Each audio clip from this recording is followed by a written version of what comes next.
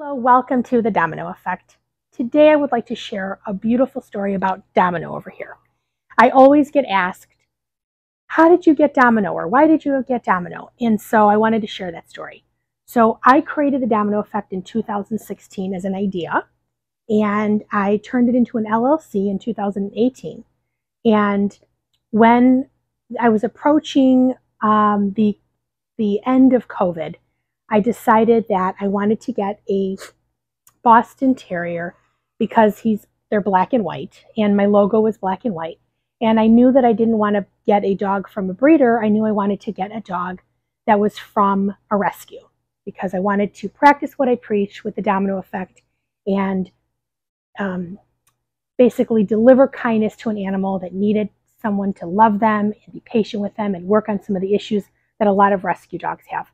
So I got really, really lucky. And the summer of 2021, I had a girlfriend named Katie, and she worked for Paws Chicago. She got a job and she was in the um, medical division at Paws Chicago. She um, and called me and told me how excited she was to have that position, and she was so happy. And she called me sometime in the summer, and I took that information, and it was kind of marinating with me for a while. And I called her one day in October and I said, Katie, I remember that you're working for Paws Chicago, and I wanted to call you and ask you if you ever get any Boston Terriers. I have a goal to work with a Boston Terrier and have him work with the domino effect with me to accomplish some goals that I have. But I know that it's hard to find purebred dogs when at rescues, and so I know they're usually, you know, mutts. So I thought I'm probably not going to get lucky, but I'm just putting it out there and I had no time frame. I said, no rush, just whenever you get one, give me a call. I would love to come and, and, and meet the dog.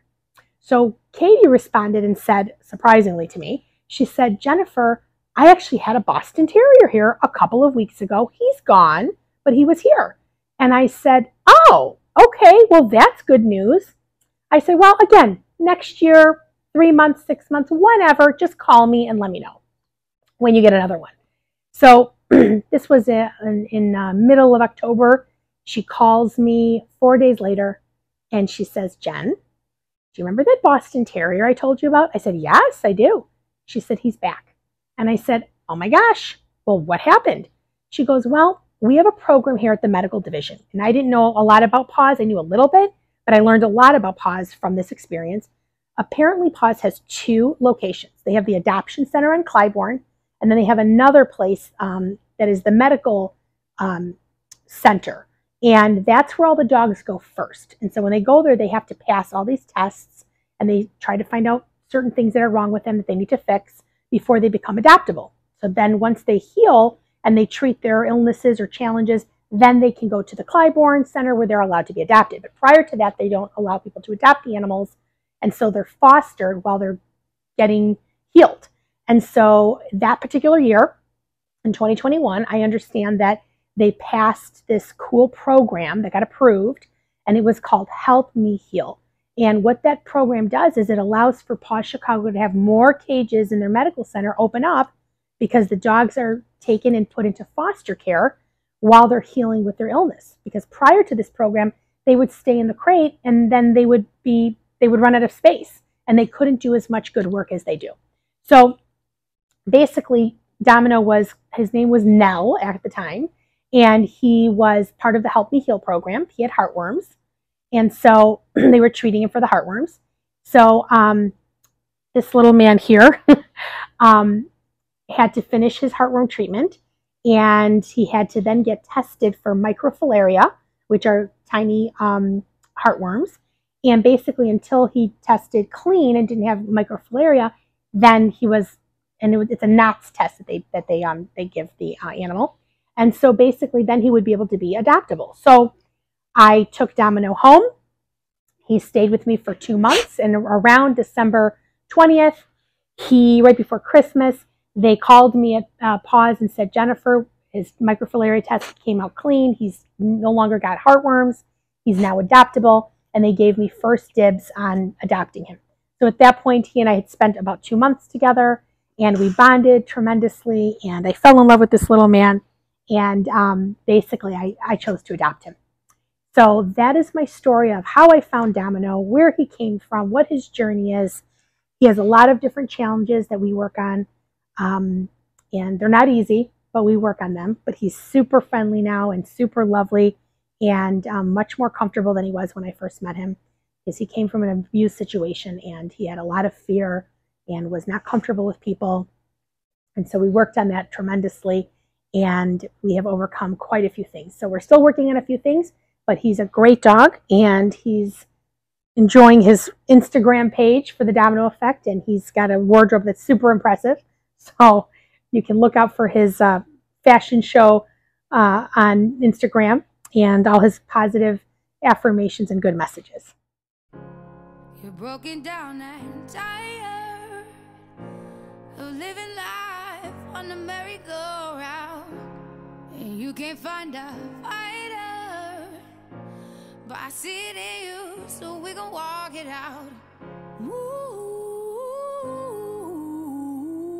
mountains, we gon' walk it out and move.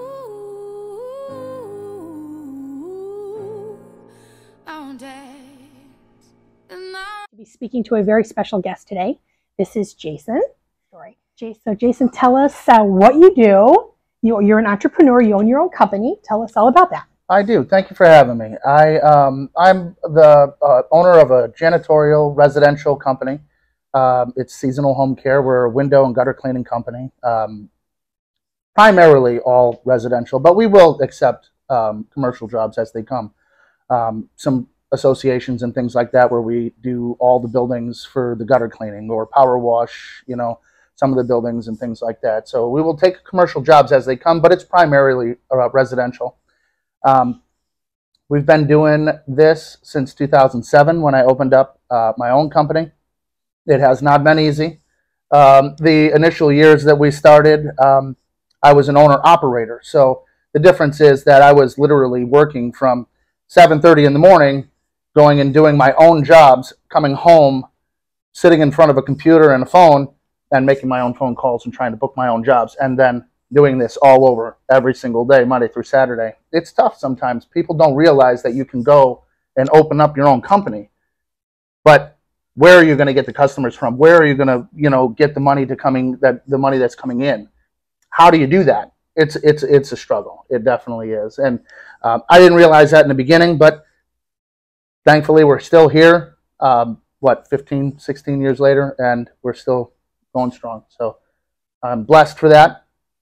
And um, yeah, it hasn't been easy, but we're still here. We have over 25,000 repeat customers now. Uh, I don't have to go out and do the work anymore, thank goodness, because that was really uh, taxing, um, to say the least. So uh, I hire employees, uh, technicians out in the field, independent contractors, employees here that uh, do the marketing in-house for us, and we book our jobs. Um, and we assign them to our technicians daily, Monday through Saturday, and they go on out and service our customers' homes. Nice. So I can appreciate what you're saying about gaining customers, obtaining them, retaining them. And um, what people don't realize a lot of times, if they're an employee and they're not part of the, the process A to Z in business, and they just work in like one department in particular, like accounting or possibly sales or possibly customer service, the issue is momentum. So like when you first started, that is an issue is when you spend a lot of time prospecting in business and you're prospecting, prospecting, and now you have clients and then you service them, you servicing them personally as the owner takes away time from prospecting. Correct. Right. So Absolutely. your momentum, you lose the momentum. Uh, right? Yeah, and then you have to literally you have to try to keep the momentum going. Yeah. Um, and that's that's taxing, and it's very it's it's it's, it's a hard thing to do. Um, you you always want to say what do they say? Uh, acquisition, um, uh, retention yeah. over acquisition. So. Yeah. Um, you want to retain your customers. You want to keep your customers happy so that they continue to com- keep coming back. For sure. Um, and then there's the other side, which is the acquisition, and that's obviously the more um, the more hard part about getting new customers and going about keeping those customers. Yeah, for sure, for sure. And when you take a break to service the customers that you were prospecting last week, now you don't have any prospecting going on because you're servicing, and then you have to go back to prospecting.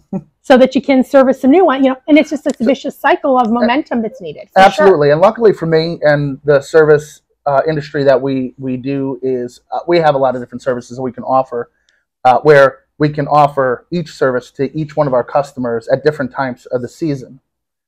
So um, you know, primarily window and gutter cleaning are done in the um, in the spring and in fall. So they're going to need us twice a year.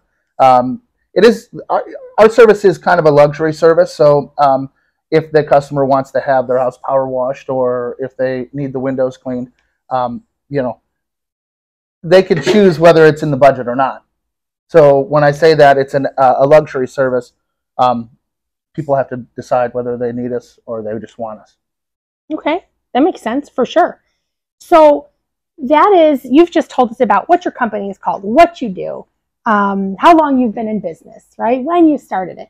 And I have such an interest in your backstory, in how you came into doing this, um, what your history and your past is, because there's always a story behind every entrepreneur, because being an entrepreneur is not easy.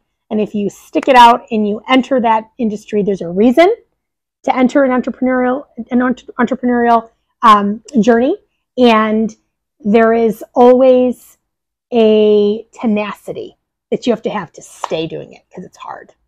And so usually I find that it's always something if you dig deep about an entrepreneur that explains it all.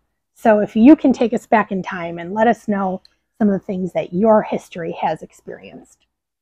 Um, you, you're absolutely right when it comes to reasoning.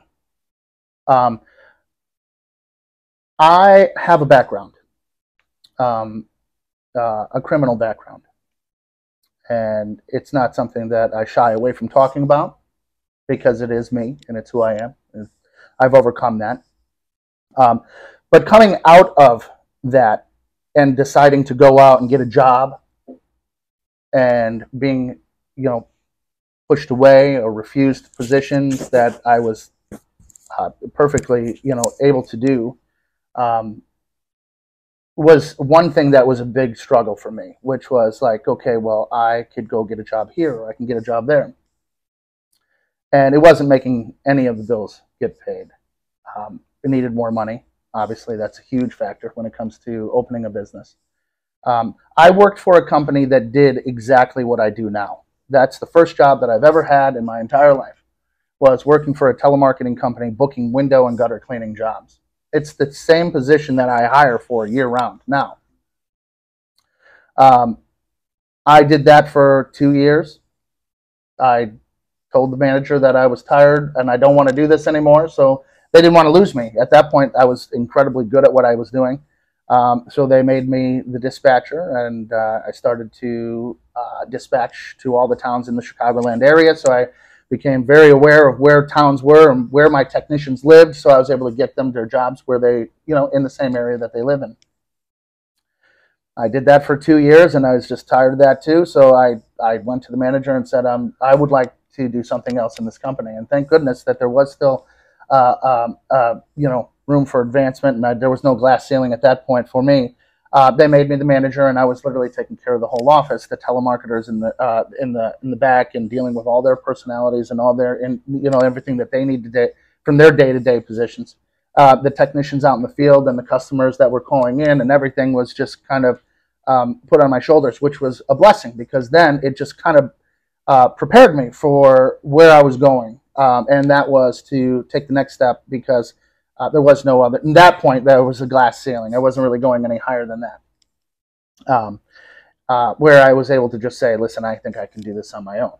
Um, little did I know how difficult that was going to be. yeah. Um, I left the company and opened my own company and um, became an owner operator, and that's how um, I became who I am today. Took many years, but uh, perseverance definitely paid off. Okay. And there is also a segment of your life prior to that, which is your childhood, sure which is. I think is very interesting. And I think it also is inspiring because I think that I personally come from a childhood of domestic violence. So I had a period of time from when I was 11 years old until I was about mm, 15, where there was a gentleman in our family's life who was a stepfather. And it took my mom about four years to get rid of him. And during those times, it was extremely hard. And so when I learned about your childhood and your history, I think there's a significance there, but also in why you have the tenacity you have or or the desire, you know, to be independent and, and, and be an entrepreneur. But I also think it's an inspirational story for other young people who may have have a similar childhood or home environment that you experienced. So I would love for you to share that with us. Yeah. Uh, another thing that I don't shy away from is of my, my upbringing. Um, it was not um, that great, uh, to say the least. Um, I grew up in Derby, Connecticut. Uh, most people would think of Connecticut as being, oh, you know, a yuppity kind of uh, um, area and place. Uh, not too far from uh, Yale. Um, so, being that the um, the state is so small, it is uh, known for the biggest heroin addiction in the country. Um, I did not know that. Mm, it is. Um, okay. my father was a heroin addict. Um, I found out about that very early on in life, six and seven years old, where uh, I had to fend for myself, learning to um, either jump into a trash can and or, or, or trash can and find cans so I can get money for uh, food. Um, so you would sell the cans? I would literally go to the store and deposit the cans, and, and they were five cents a can, um, and I would take that money and go eat. So I had to fend for myself very early on in life. And Jason, where did you learn that? Like when you told me this story, I was like so amazed because I had, I had no idea that that was happening in the world. I didn't know that people were giving money for cans. Yeah. But how did you learn that? Well, you can just look on the top of any Coke can or any bottle. It says the re- refund okay. um, amount for any uh, deposit. So you figured it out just by reading the can. I did. I did. Nobody taught you this. You just figured it out. That's right. Okay. Yeah. Amazing. Because you were 11. How old were you? So I was. I did this for years while my father was head into his addiction. Um, I didn't my father made me lie for him to my whole entire family who did not live in the state uh, at that time. I was living directly with him. Um, he made me lie to them to make it look like the situation was a lot better than what it was. Okay. And we lived with his father, which was my grandfather. And when he passed away, things got incredibly bad. The lights got turned off, the water got turned off. My dad went on, you know, week binges where I would just be there just floating. Um, and that's when I really decided that I really needed to figure something out, and I decided to tell my family in the other state, in, in Illinois, as a matter of fact. Uh, and my mother flew right out down here to get me. And that so was give me um, a time between, frame. I was yeah. between like six to seven years old to about 11 years old. That okay. I was going through that wow. for that many years. Okay. So that's a lot. That is a lot. That was a lot of time. Yeah. That was a lot of time for me. Um, upon coming out to Illinois because I had to fend for myself so so much, you know, previously, I got involved with the wrong crowd. You know, obviously then I was in a situation here in Illinois with the gang populations out here were just so so terrible. So I got influenced by the wrong people here, which again continued you know, the terrible situations. Jason, can I ask some questions about that right there? Sure. Okay. So you're a male in Naperville, okay? And this was in your your what? 12 now? Yeah. What are you at? About, about 12. 12 years yeah. old, right? And I know being a female, I know that it is so important growing up, especially in your impressionable years and your teenage years, to connect with a cousin, a sister, a mom, an aunt, somebody. Okay, as a female, you look for somebody that's going to be your role model or your mentor or the older person, okay, that's going to guide you and, and, and has gone through the path that you're going through prior to you. And so I can only imagine as a young man, you're here, you've been let down by your dad, you have no male figure, right? You didn't have an older brother, am I correct? I do have an older brother. You do. Okay. Was he around at all during these times? During my previous years, no, but when I came to Illinois, yes. Okay. So your condition, though, you're in another state with no older brother, Correct. right? Access to that brother. Okay. So I can only imagine that the way that gangs operate, this is this is my assumption, okay, is that they probably prey and feed on young boys who are missing that father figure, older brother, uh, stability, uh, rock, you know, that probably young boys really need. Do you agree with that? I would have to absolutely agree with that. Uh, they give you the camaraderie that you're looking for. Um, they give you uh, your brotherhood. They give you um, things to keep you going. Um, and it, when you're in an impressionable time in your life like that, you need something, and that's missing. And that was missing for me. Um, didn't have any any upbringing that was you know directional. So I knew nothing. And my mother didn't really know what to do at that point with me. I was not. I was skipping school. I was not going to school. I was hanging out with the wrong people. Uh, at that point, I started doing drugs, Okay. and um, of course you did, because yeah. that's the circuit, right? that's and the, that's yeah, how they make money. Gangs usually will peddle peddle uh, narcotics. Am I correct? that's correct. So you have exposure to it because if you're not peddling it, then you're using it, and it's usually hard to peddle it and not use it. Do you agree? I would have to uh, absolutely agree. Okay. So the um, you know best entrepreneur of a gang is the person who can peddle it and not use it. because the mixing the two is not a is not good business, right? No. So of course I'm being funny, you know, and sarcastic here, but unfortunately, the point I'm making is when you start peddling it and then you're using it is when the disasters really start happening. That's exactly what happened. Mind and your body and your soul and your everything, right? So let's go. Let's let's so apply that, that's, to you. That's exactly what happened in my life. Um, not only was I trying to sell drugs to make money, I was smoking them at the same time. Um, and the drugs didn't just get put in my hand for free. So I would have to sell them, bring the money back to them. Yes, it was fronted to me first because obviously I was a, a young man and did not really have any money to buy it and then try to sell it. And there was a time where I asked for more than I could handle, and I I used it all. And then there was no money to pay for the drugs.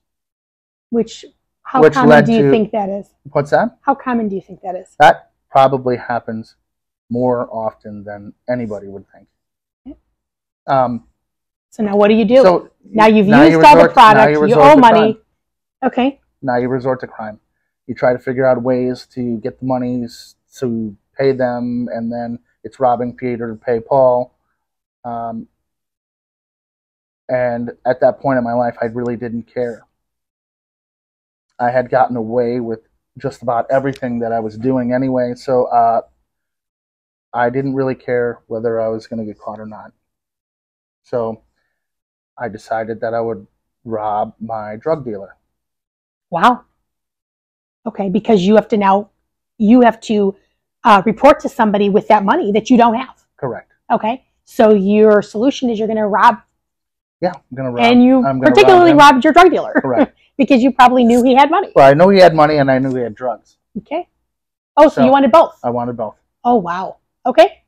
I Okay. took a, a couple of the people that I knew very, very well. Which, I mean, how do you really well do you know, you know, people when you're 13 and 14 years old? Very impressionable and very, I, I don't know, stupid. Okay. Um, so yeah, I went. I went and uh, I went through a window at two o'clock in the morning oh, someone's home. at someone's home. And who was in the home? his him, his family, his wife, and all hell broke, broke loose. Okay. Um, before I went in, um, I grabbed, a s- you want to call it a stick, I guess, uh, you know, some kind of club. And when we were going through the kitchen, he came out. There was a struggle, and I hit him with the club. Like a golf club? No, like a like an axe handle. Wow. Okay. But it didn't have the metal piece on it. Okay. Uh, I think back to that now as an adult, and I thank God that that didn't go a different way, where that he would have died or something like that, or um, or if I would have died, he could have came out with a gun. You know, multiple different things Outcomes. could have. Yeah, yeah, outcomes could have happened. But in your mind, you were thinking, oh, I'm going to go in the middle of the night because they're all sleeping.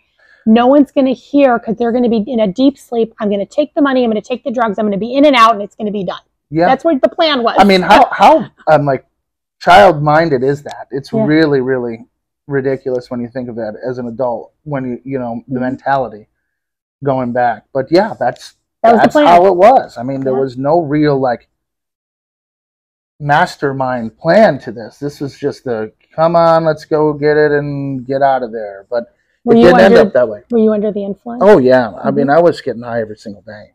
I mean, but we're only talking about marijuana. Now, I'm not minimizing marijuana, you know, but I am saying that I wasn't doing any um, harder drugs than that. Okay. But it Um, altered your state. But it your, definitely your, did. your, the way you were thinking and the speed of your thoughts and all of that For good sure. stuff, right? Okay. Mhm. Okay. So then what happened? We ran out of there. Okay. We ran out of there, um, and we didn't get caught for about three weeks later. Wow. So during that three weeks, did you think that you were in Oh, the yeah. clear? Uh, no, I was, I was, uh, I was scared. I was very scared. Um, we were wearing masks. I mean, had a walkie-talkie. I mean, it, it was premeditated. Okay. Is the word that I was looking for, but it it was not master class criminal here. It was juvenile stupidity. And um, when the detectives came and talked to me, I didn't know what to say, so I kind of incriminated myself. Okay. Um, ultimately, long story made short, is uh, after going through court for a year, um, the state of Illinois charged me as an adult. Okay. They gave me juvenile life, which was 11 years, which I did five and a half, which I didn't get out until I was 21 years old. So you went in at how old? 15. 15. You got it at 21. I was two months before my 21st birthday. So you did six years, essentially. five and a half. Five and a half. Okay. Mhm, So you did five and a half years, and but you had 11. So They gave me 50%. 50% for good Right. time. So good time served, they cut it in half. Right. Okay. With, anybody who knows better knows that a, a home invasion is a class X felony. It's it's it's an 85% rule, and they give that to adults 95% of the time, 85%. At the time when I was being sentenced, I thought they were throwing the book at me. It took me a long time to realize and stop the resentment when I actually got I was I was graced with with uh, What you received. yeah, I was definitely given mercy because I had three accounts of home invasion, six accounts of aggravated battery, uh, five accounts of residential burglary, two accounts of mob action, unlawful use of weapons. They threw every kind of uh, case at me they could to make it stick because the home invasions were for three accounts were like for him and his wife and his daughter the residential burglaries. I mean, it just it just they just add it on. They tack it on as much as they can. And when I pleaded guilty, it was just one account of home invasion. But that all those other cases they follow you. Whenever your background is ran, those all come up. And then one account of home invasion is what you copped out for, what you what you pled guilty to. So yeah, that was a, a traumatizing experience to be having the judge sentence you to that much time when you're 15 years old you're almost getting the same amount of time as you are old Yeah. Yeah. um, it took me about two and a half years to realize that i got a break About two and a I half got- years. yeah i got So my- you're like I- now 23 years old ish, right? 'Cause you- no you're no out no 21. i was 17 in prison Oh, in oh you in real- prison Oh wow. Okay. So not when you got out. Like no while you were in there, you while i was in there i i it took me a long time of just being very resentful and being Wow. mad and feeling like i've been like like the book had been thrown at me like i've been punished so terrible well, you know, this is the first time I've ever had any kind of police contact. Um, but it was a terrible, terrible thing that I did. This man went through hell. You know, him and his family were are traumatized. They don't feel comfortable in their own home. You know what I mean? These Yeah. things.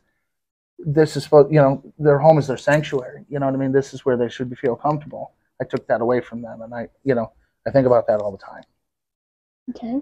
But going through prison, coming out of prison, getting through it, um, has made me into a, a better man after I was able to realize that um, I'm not sure if I should say God, you know, gave me exactly what I deserved to make me not turn that corner and go back to any kind of crime or, you know, repetitious behavior moving forward in my Because you life. learned your lesson. I learned what I you needed did to not learn. want to do that again. I don't go ever, through you know, that again. yeah, right. So what I'm saying is like I I could have gotten maybe a better deal, but who knows if I would have gotten out and just felt like, oh well, That wasn't a big deal. yeah, that's not terrible. You Well, know, let me try went- this again. Yeah, I went through Yeah. that. I could get, you know, I could. That was not the case with me. I was like, okay, that's enough.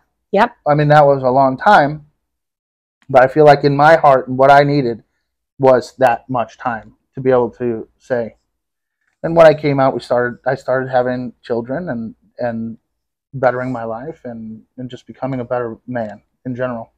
Nice. So those things are those attributes are what brought me to being uh, an entrepreneur in turn because coming out of prison trying to take care of a family no one hires for those kind of positions for the money that you need Yeah. to be able to maintain that kind of a life and be able to take care of your family and that's what drove me gave me the uh, the will to do that And I understand, like now while you're running your company, you try your best that if somebody is genuine and authentic and came from a similar situation, you try your best to help them, i have i have yeah. always done that Yep, which is really nice. There- you're like paying it forward almost. correct, Yeah. correct. Uh, we have um, we have many um, convicts or you know parolees that that come out of prison. Um, their probation officers help them try to find positions, and I've been called by probation officers to hire. Would you give this person a chance if they're out of prison? And I've been able to, when I was a manager at that company prior to me opening up my own shop, um, I've been able to make that decision without even consulting with the owner because he trusted in me that I would make the right decision. and I always have said yes. And that's actually happened twice while I was the manager over there. Um, and good people are could come through and out of that. I'm one of them to attest to it. Yeah. So that's why I feel compassionate Yeah. and and able to do that. I hope that given um, the chance and opportunity that these people would, you know, reciprocate and do the right thing. And that ties totally right back into my domino effect. Um, it's important, I think, to have the appreciation when something is granted to you and allow for the next person to I- have I- that same opportunity. And agree I with you a million percent. I loved your story. I loved when we talked about this.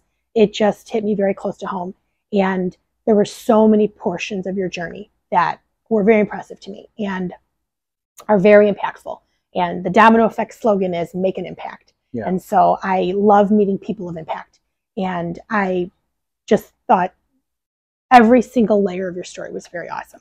And I just thank you for being transparent with me prior to the interview. Thank you for sharing this with me because a lot of the stuff you shared is super personal and people are very private about. Um, am I right? Do you agree? Absolutely. I, you know, yeah. yeah, I would say that uh, most people wouldn't feel comfortable. Hundred percent. but again, it's it's a journey, you know, that we all have to. We all have our own journeys that we deal with in life.